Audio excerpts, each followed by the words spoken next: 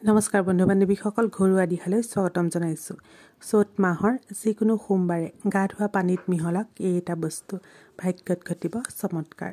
বন্ধু বান্ধৱীসকল চ'ত মাহৰ যিকোনো সোমবাৰে যদি ৰাতিপুৱা গা ধোৱা পানীত বিশেষ এটা বস্তু মিহলাই স্নান কৰিব পাৰে তেন্তে আপোনাৰ ঘৰলৈ সুসমৃদ্ধি আহিব আৰ্থিক সমস্যা দূৰ হ'ব।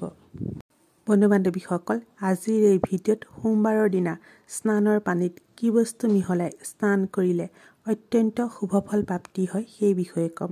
যদিহে ভিডিঅ'টো চাই ভাল লাগে এটা লাইক কৰিবলৈ নাপাহৰিব।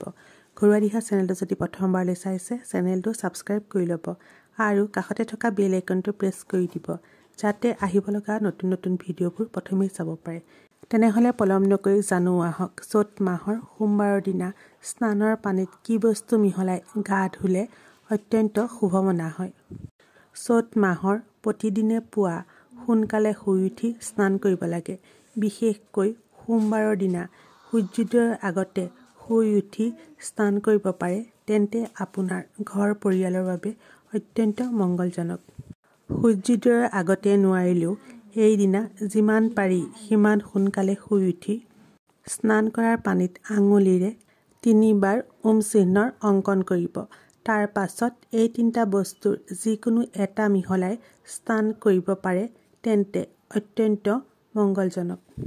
এই তিনিটা বস্তুৰ প্ৰথমটো হ'ল গাখীৰ দ্বিতীয়তে ক'লা তিল আৰু তৃতীয়তে গংগাজল। এই তিনিটা বস্তু মিহলাইও আপুনি স্নান কৰিব পাৰে। যদি আপুনি ইয়াৰে যিকোনো এটা বস্তু মিহলাই স্নান কৰিব বিচাৰে তেন্তে ইও অত্যন্ত শুভ মনা হয়।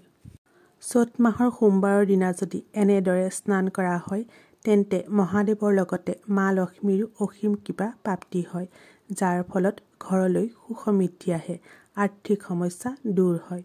বন্ধু বান্ধৱীসকল যদিহে ভিডিঅ'টো চাই ভাল লাগিল কমেণ্টত শুদ্ধ মনে লিখিব হৰ হৰ মহাদেৱ। তেনেহ'লে আজিলৈ আহোঁ ধন্যবাদ।